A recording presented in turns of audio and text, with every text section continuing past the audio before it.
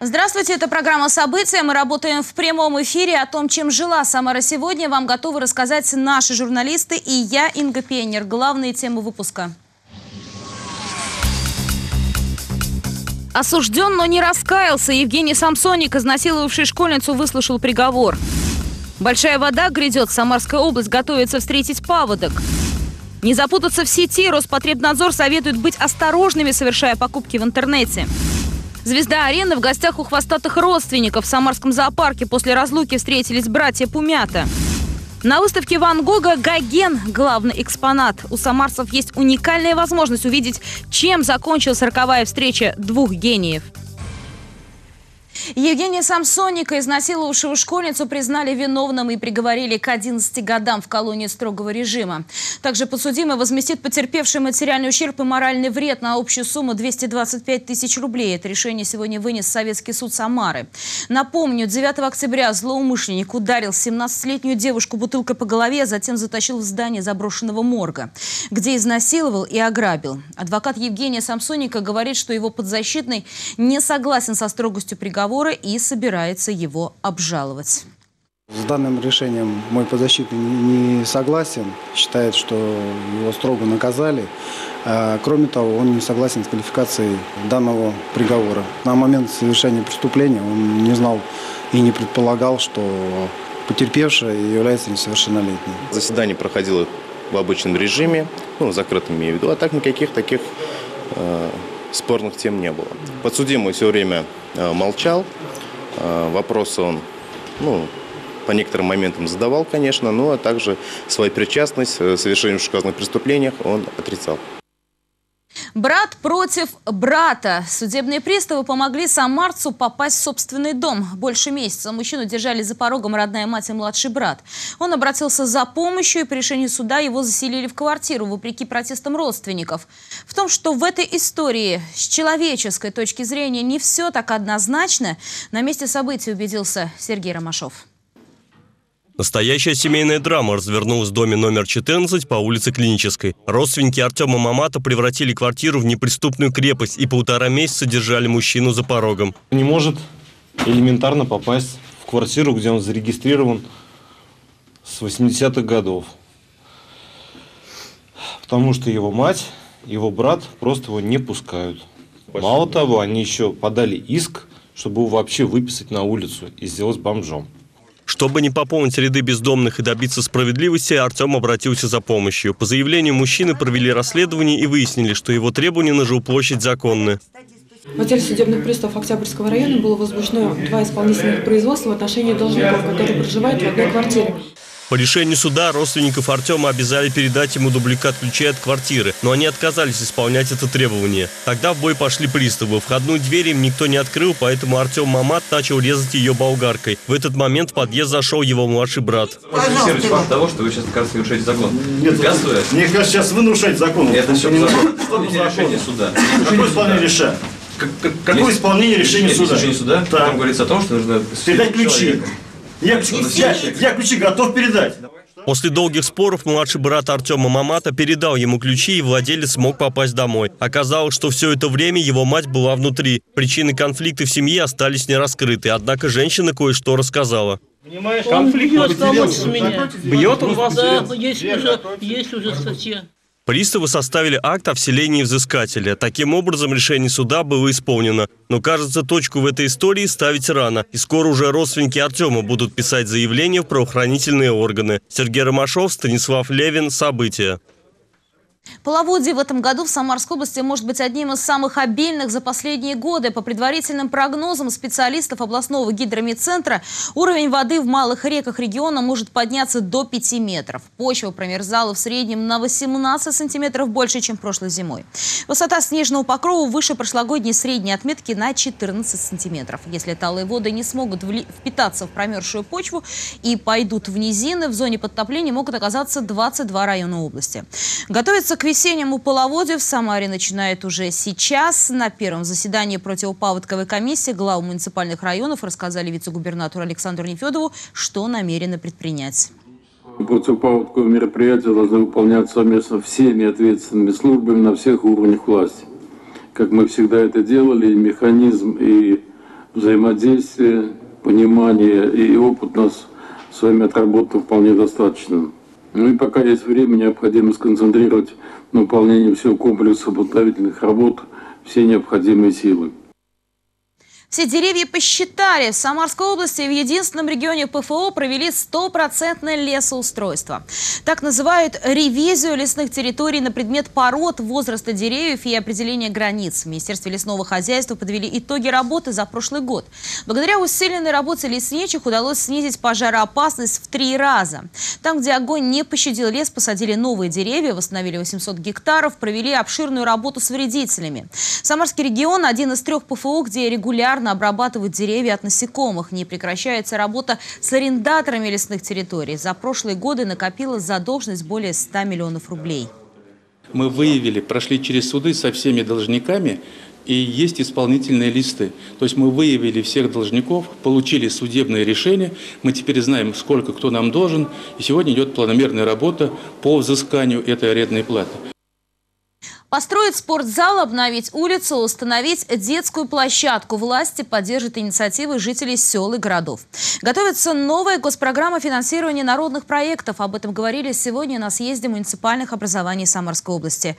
Олег Зверев подробнее.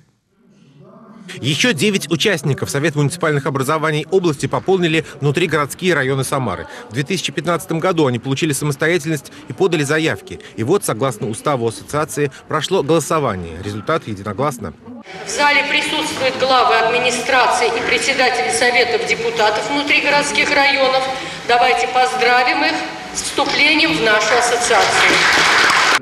Главная тема 12-го съезда Совета муниципальных образований – оптимизация бюджетов. Городам и районам нужны деньги на решение самых насущных вопросов. Резервы есть, считают в областном правительстве. Необходимо лишь навести порядок в деле налогов и сборов. В пример приводит Самару. В городе уже удалось значительно повысить наполняемость муниципальной казны. Об этом рассказал глава города Олег Фурсов. Администрация работает согласованно с целым рядом федеральных ведомств. Началась масштабная инвентаризация земель. Те, кто пользуется участками в городской черте, должны оплачивать их содержание здания. И мы, изучив ситуацию с января прошлого года, в составе внутригородских районов создали межведомственные комиссии, куда вошли представители внутригородских районов, представители налоговой инспекции, депутатов районных советов, представители ТОСов, общественных советов, э, налоговые инспектора с целью инвентаризации земельных участков и имущества, которые используются, но не зарегистрировано. Сейчас федеральное законодательство меняется в этой сфере. Есть примеры разных территорий, которые меняют стоимость, например, земельного налога, если по истечению определенного срока человек, взявший на себя обязательство строительства дома, его как бы не построил, тогда там земельный налог увеличивается несколько раз. А с марта в Самаре запускается еще и проект «Народная инвентаризация». Сообщить о бесхозных и неучтенных участках сможет каждый житель города. Еще один источник доходов – акцизные сборы. В городе ставятся амбициозные задачи – навести порядок на алкогольном рынке. В Самарской области работает система стимулирующих субсидий. Чем больше муниципалитет зарабатывает сам, тем больше получает областной поддержки. Но не все руководители территорий усвоили, что для этого необходима всеобщая мобилизация ресурсов. А чтобы каждый человек, проживающий на территории и крошку в ладошку несущий, понимал, что от его работы, от его нормального отношения к делу, от его включенности в процесс зависит от того, будет дорога к храму или не будет, будет отремонтирована центральная улица поселения или не будет – еще один механизм решения проблем появится в Самарской области. Сейчас готовится проект программы по поддержке народной инициативы. Предположим, жители решили благоустроить парк или отремонтировать двор. 50% суммы на эти работы они собирают сами, а еще половину добавляет муниципальная и региональная казна. Олег Зверев, Василий Колдашов. События. Новая победа Самара ГИС. Редактор нашего телеканала Инесса Панченко стала лауреатом премии Союза журналистов России за профессиональное мастерство. Почетную награду в виде статуэтки быка Инессе вручили за программы «Право на маму» и «Своя дорога». Церемония проходила в Московском доме журналиста. У меня статуэтка «Бык». Э, председатель Союза журналистов России Всеволод Богданов сказал, что это такой символ для нас – чтобы мы крепко стояли на ногах и еще и умели бодаться. На самом деле мне было очень почетно стоять на этой сцене, потому что в зале были маститые журналисты России. Очень приятно, что работу региональных журналистов замечают на федеральном уровне. И, наверное, это некая мотивация и стимул для нас продолжать, и, и знак того, что не зря. А теперь коротко о других событиях дня. Улетел в реку в Куйбышевском районе Самары. В среду вечером произошло ДТП. Водитель «Фиата» двигался по улице Белорусской и не справился с управлением. Иномарка пробила ограждение моста через реку Татьянка и рухнул на лед. Машина приземлилась на крышу. Водитель получил травму головы, но после оказания врачами необходимой помощи от госпитализации отказался. В момент аварии мужчина был трезв. На месте происшествия работали спасатели и сотрудники ГИБДД. В настоящее время устанавливаются все обстоятельства случившегося. Осторожно, гонконгский грипп. В Самаре в связи с высоким уровнем заболеваемости на карантин закрыли 5 школ и один детский сад. Частично приостановили учебу 31 школа и 14 детсадов. 80% обратившихся к медикам самарцев больны именно гриппом группы А или гонконгским. В общей сложности за неделю заболели более 8 тысяч жителей. В регионе более 18 тысяч человек. Жительница Новокуйбышевска Дарья выиграла в лотерею более 700 тысяч рублей, сообщает пресс-служба «100 лото». На предприятии, где работает супруг Дарьи, принято обмениться подарками в канун праздников. Каждому сотруднику подарили по 5 лотерейных билетов. За розыгрышем лотереи следила Дарья. По словам девушки, в первые минуты не поверила в успех. Теперь семья планирует часть выигрыша потратить на путешествие в Чехию, другую положить на счет в банке. Более сотни жалоб на работу интернет-магазинов направили жители региона в Роспотребнадзор. В основном покупатели получили свой товар не вовремя, либо не имели возможности его вернуть. Эксперты советуют, чтобы не стать жертвой нерадивых продавцов и мошенников, нужно грамотно выбирать сайты. Как безопасно делать покупки в интернете, теперь знает Алина Чемерис. Чехлы для телефонов, шкатулки, украшения, товары в интернете Марина заказывает уже пять лет. Недавнее приобретение – это кофта, которую теперь носит часто и с удовольствием. Рассказывает, чтобы товар пришел вовремя и надлежащего качества, важно правильно выбрать ресурс. Девушка ориентируется по отзывам и рейтингам. Я пробовала на других, я пробовала европейские сайты. Конечно, у них качество получше. А, защита персональных данных, то есть они э, всегда отслеживают, что ты пишешь, просят, например, лишнюю информацию не вбивать. Доставка быстрее. То есть здесь ты знаешь, что там через две недели ты получишь свою вещь. К сожалению, на китайских сайтах может пройти месяц, и два, и даже три, а может в итоге и не прийти. На надежность ресурсов советуют обращать внимание и специалисты. Важно, чтобы на сайте был указан юридический адрес компании, данные о регистрации, а оплата производилась на банковский счет организации, а не частного лица. В прошлом году на действия интернет-магазинов жители пожаловались в управление Роспотребнадзора свыше сотни раз.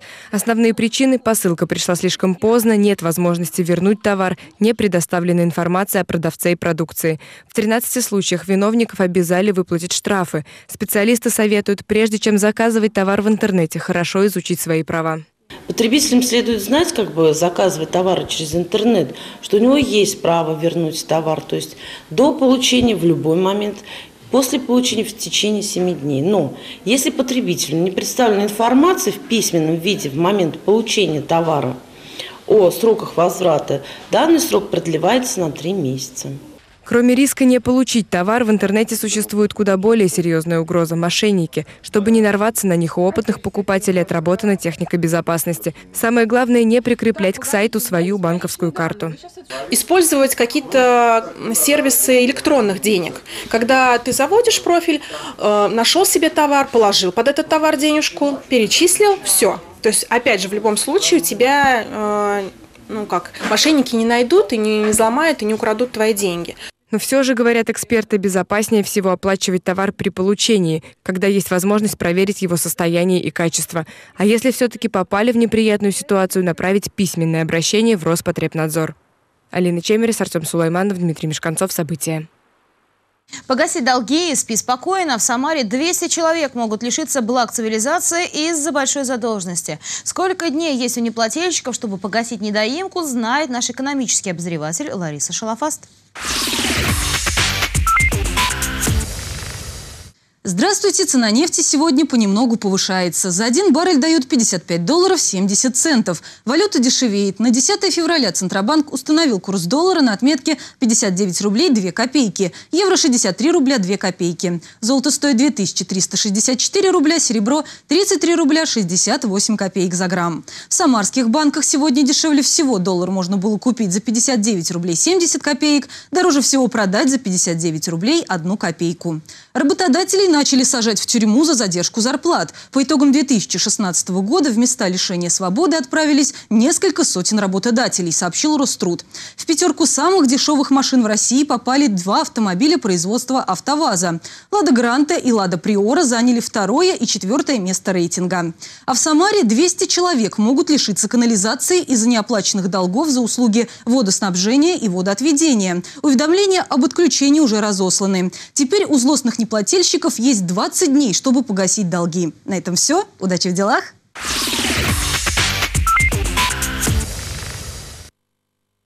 Без лабутенов и восхитительных штанов на выставке Ван Гога и Гогена дресс-код не предусмотрен. У самарцев есть уникальный шанс познакомиться с творчеством двух гениальных художников. Оба не были признаны при жизни, голодали, испытывали финансовые трудности. В остальном их разделяло практически все. Почему их встречу считают роковой, причем для обоих художников, расскажет Марина Матвейшина.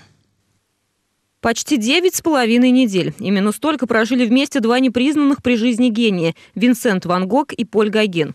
Все эти дни они работали без отдыха, обмениваясь полотнами и идеями, при этом с трудом перенося друг друга. И это время оставило настолько глубокий след в творчестве и жизни двух художников, что его называют «роковой встречей». Все начиналось как идиллия, полной надежд и творческих восторгов, а обернулось кровавой драмой. В момент помутнения рассудка Ван Гог отрезал себе ухо. Это официальная версия. По другой версии это сделал Поль Гоген во время ссоры с Ван Гогом из-за женщины. Но в любом случае, как бы то ни было, именно после этого Поль Гоген решил окончательно, с Ван Гогом он жить больше не в состоянии. После этого Гоген отправился на Таити, а Ван Гог спустя два года застрелился. Буквально за несколько часов до самоубийства он закончил картину «Вороны и поле». Работы обоих художников можно увидеть в Самарском художественном музее. Это не оригиналы, а литографии и ксилографии, выполненные в Америке в середине 20 века. Но э, задача этой выставки не, не явить сами вещи, которые, естественно, находятся в других местах, а показать квинтэссенцию творчества Ван Гога с его э, сложным миром. В том зале работы Поля Гогена Талант обоих художников проявился не только в живописи. Ван Гог оставил после себя большое эпистолярное наследие. Особенно ценны его письма к брату Тео. Интерес представляют мемуары Гогена и его исследовательский труд о таитянской культуре и мифах. Все работы на выставке сопровождаются текстами только от первого лица. Марина Матвеевна, Дмитрий Мешканцов. События. Важнейший из искусств Самарской губернской думе открылась выставка «Фильм, фильм, фильм». Ее подготовили на основе документов, которые хранятся в Центральном государственном архиве Самарской области. История кино в Самаре началась 119 лет назад. Сегодня горожан знакомят с самыми первыми киноработами. Сергей Ромашов знает детали.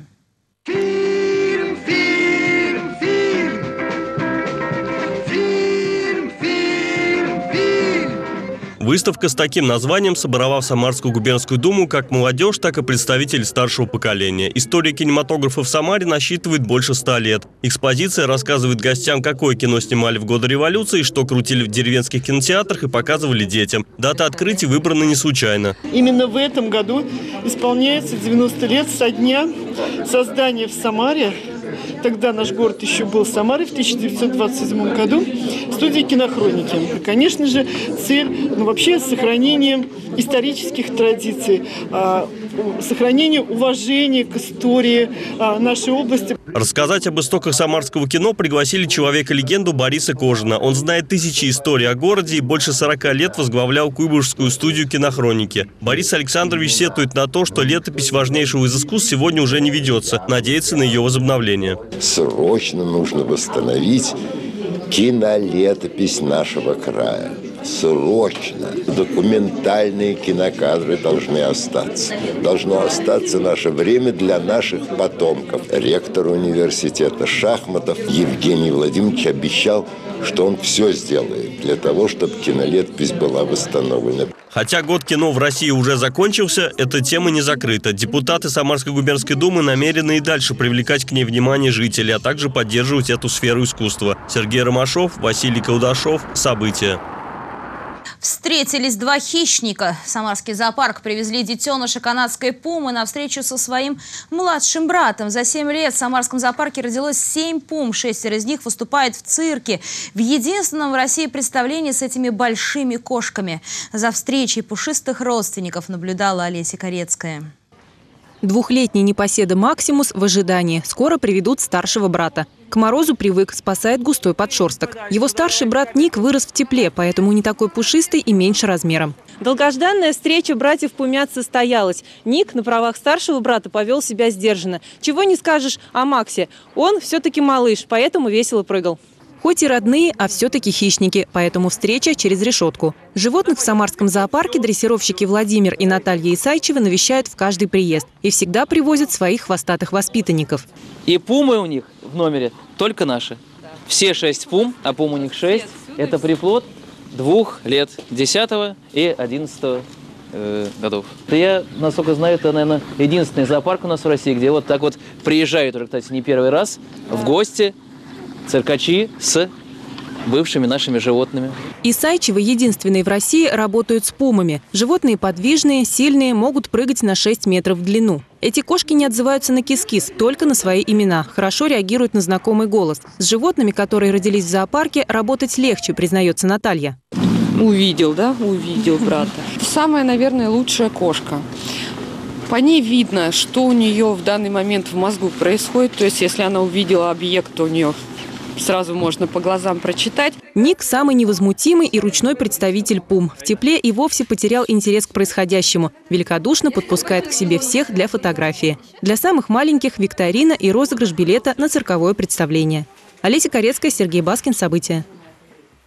Пять медалей привезли самарские спортсмены из Казахстана с зимней всемирной универсиады. Какие успехи и неудачи подстерегали наших атлетов. Сегодня на соревнованиях расскажет Сергей Кизоркин. Новости спорта продолжит эфир. Здравствуйте, я Сергей Кизоркин, и значит вы смотрите «Самарские новости спорта». Пять медалей привезли самарские спортсмены зимней всемирной универсиады. Самарцы вернулись чемпионами с Приволжского федерального округа по УШУ. Самара проиграла Ижевску, но продолжает занимать третье место в Суперлиге. Самара в матче баскетбольной суперлиги проиграла куполу «Родники». В Ижевске горожане до этого матча никогда не знали поражений. На этот раз все сложилось по-другому. Хотя первую четверть Самара выиграла в 5 очков, но затем соперники устроили настоящие баскетбольные качели. То одна, то другая команда ворвались вперед. Разница в счете составляла символические 5 очков. Исход поединка решили трехочковые попадания в четвертой четверти. Более точными оказались баскетболисты купола. Ижевск победил 70-63. Несмотря на эту неудачу, Самара сохранила место в лидирующей тройке. За пять туров до завершения регулярного чемпионата Суперлиги горожане уступают лишь Новосибирску и Университету Югре. Восемь золотых медалей выиграли самарские спортсмены на чемпионате первенстве Приволжского федерального округа по УШУ. В Казани любители восточных единоборств соревновались в спортивном и традиционном виде борьбы. Сборная Самарской области заняла четвертое место среди девяти команд. 11 самарцев в итоге поедут на чемпионат России по УШУ.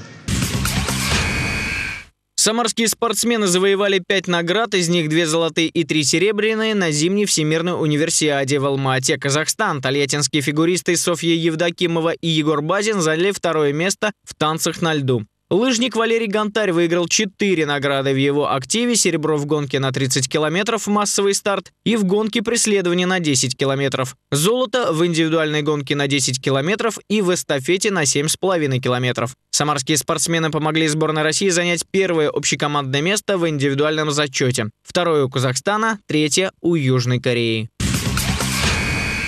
Это были новости спорта от Сергея Кизоркина. Будьте здоровы и занимайтесь физкультурой.